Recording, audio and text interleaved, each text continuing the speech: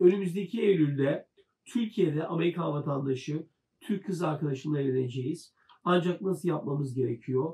Önce Amerika'da mı evlenelim yoksa Türkiye'de evlenip Amerika'ya mı gidelim diye bu takipçimiz soruyor.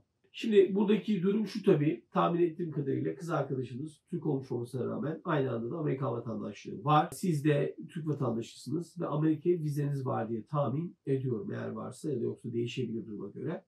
Dolayısıyla burada yapılacak ideal nokta şu olur. Eğer siz gelecek Eylül'de evlenmeyi planlıyorsanız şu yapılabilir. Nikahınızı kıydıktan sonra eşiniz sizin için başvuru yapıyor olacak ve bu başvurunun üzerinde de siz göçmenlik vizenizi bekliyor olacaksınız ve bu göçmenlik vizenizi alarak Amerika'ya geliyor ve yeşil kart sahibi olabilirsiniz.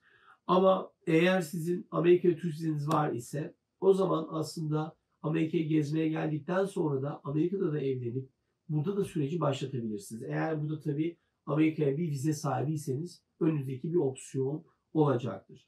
Dolayısıyla Türkiye'de de Amerika'da evlenmeniz sizin ne kadar süre sonra Amerika'da bulunmak isteğinize göre değişebilir. Planlarınıza göre değişebilir. Dolayısıyla bu noktadaki planlamayı doğru hesaplamanız gerekecektir.